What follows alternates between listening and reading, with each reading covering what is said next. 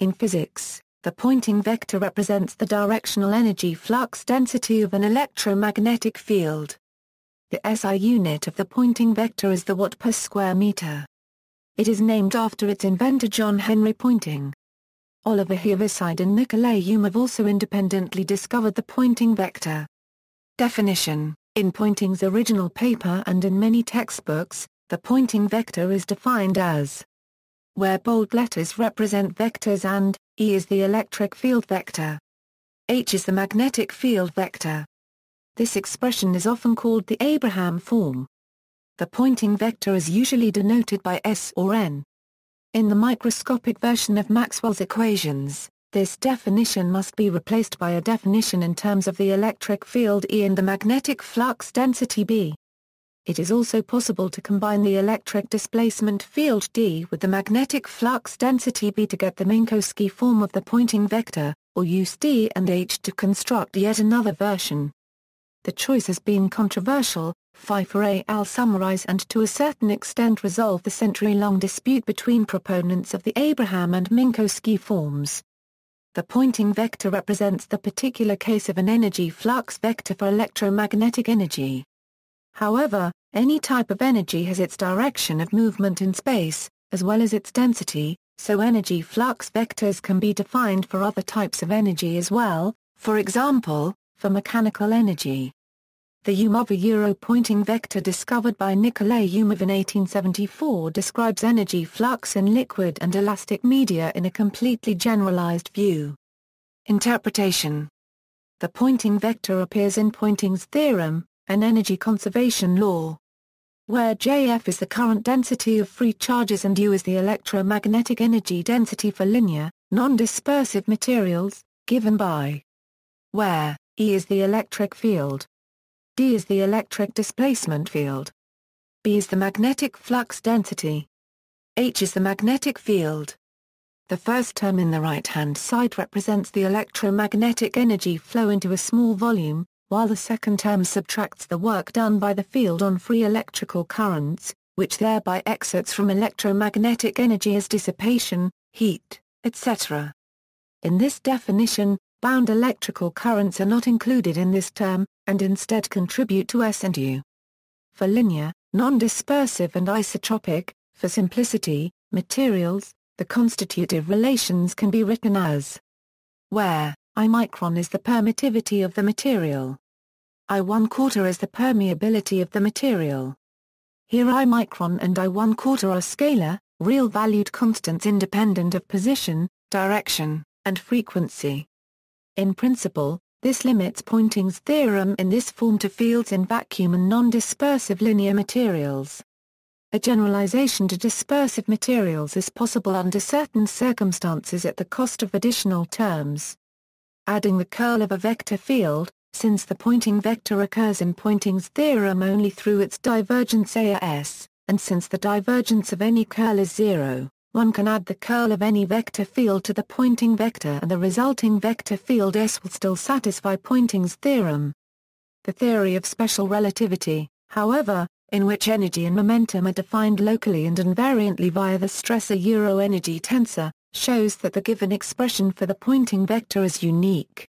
A recent article claims that in an anisotropic medium, the electromagnetic stress-energy tensor is not sufficient to define electromagnetic momentum correctly, and the Poynting vector may not represent the electromagnetic power flow, and states a Euro This conclusion is clearly supported by Fermata Euro unregistered trademark as principle and special theory of relativity Euro.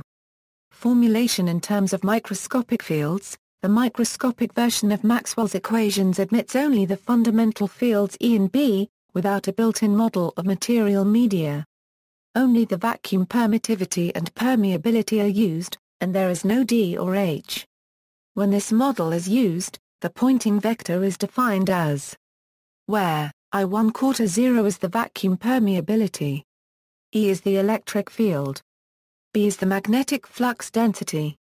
It can be derived directly from Maxwell's equations in terms of total charge and current in the Lorentz force law only. The corresponding form of Poynting's theorem is where J is the total current density and the energy density U is given by where I micron 0 is the vacuum permittivity. The two alternative definitions of the Poynting vector are equal in vacuum or in non-magnetic materials, where B equals I 1 quarter 0 hour. In all other cases, they differ in that S equals 1 slash I 1 quarter 0 year, B and the corresponding U are purely radiative, since the dissipation term AJE covers the total current, while the H definition has contributions from bound currents which are then excluded from the dissipation term. Since only the microscopic fields E and B occur in the derivation of S equals 1 slash I 1 quarter 0 E B, assumptions about any material present are completely avoided, and Poynting vector and theorem are universally valid, in vacuum as in all kinds of material. This is especially true for the electromagnetic energy density, in contrast to the macroscopic form EXH. Time-averaged Poynting vector, for time-periodic sinusoidal electromagnetic fields, the average power flow per unit time is often more useful, and can be found by using the analytic representation of the electric and magnetic fields as follows. The average over time is given by the second term is a sinusoidal curve, and its average is zero, giving Examples and applications. Equals coaxial cable equals. For example, the Poynting vector within the dielectric insulator of a coaxial cable is nearly parallel to the wire axis. Electrical energy delivered to the load is flowing entirely through the dielectric between the conductors. Very little energy flows in the conductors themselves, since the electric field strength is nearly zero. The energy flowing in the conductors flows radially into the conductors and accounts for energy lost to resistive heating of the conductor. No energy flows outside the cable either, since there the magnetic fields of inner and outer conductors cancel to zero. Equals resistive dissipation equals, if a conductor has significant resistance, then, near the surface of that conductor, the Poynting vector would be tilted toward and impinge upon the conductor. Once the Poynting vector enters the conductor, it is bent to a direction that is almost perpendicular to the surface. This is a consequence of Snell's law and the very slow speed of light inside a conductor. See Hayt page 402 for the definition and computation of the speed of light in a conductor.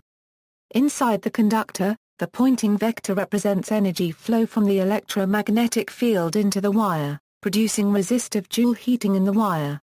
For a derivation that starts with Snell's law see Reitz page 454.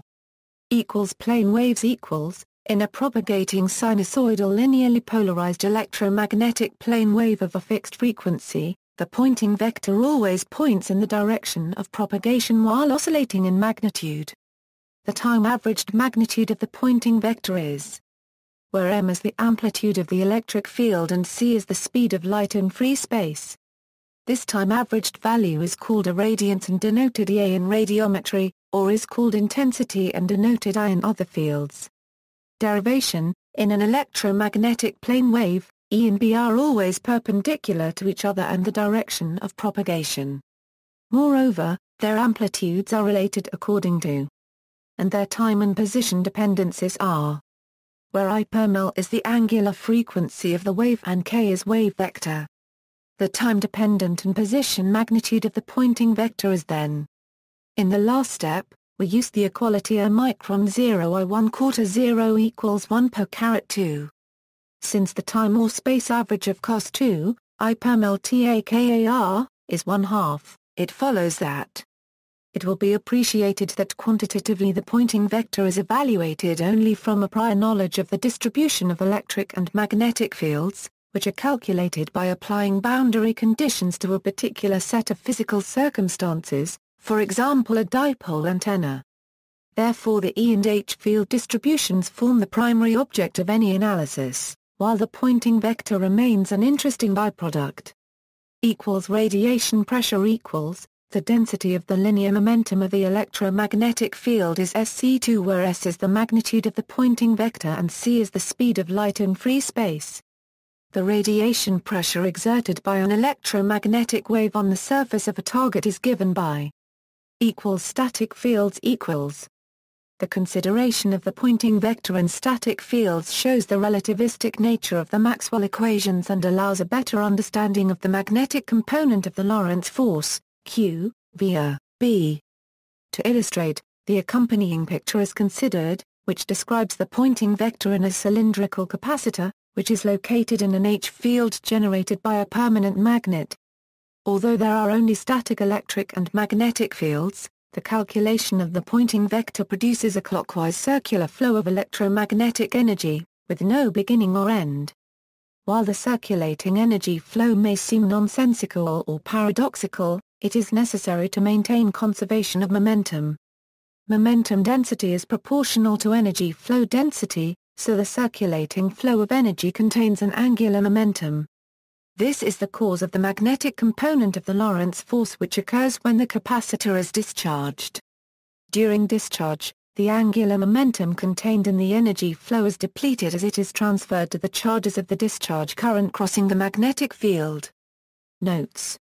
References, Harrington, Roger F. Time Harmonic Electromagnetic Fields. McGraw-Hill, Hayt, William. Engineering Electromagnetics. McGraw-Hill.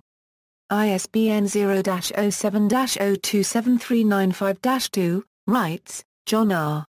Milford, Frederick J. Christy, Robert W. Foundations of Electromagnetic Theory. Addison Wesley. ISBN 0-201-52624-7. Further reading, Poynting Vector from Science World by Eric W. Weisstein, Richard Becker and Sauter, F. Electromagnetic Fields and Interactions. New York, Dover. ISBN 0-486-64290-9. Joseph Edminister. Schaum's Outline of Theory and Problems of Electromagnetics. New York, McGraw-Hill Professional. Pages 225. ISBN 0-07-021234-1.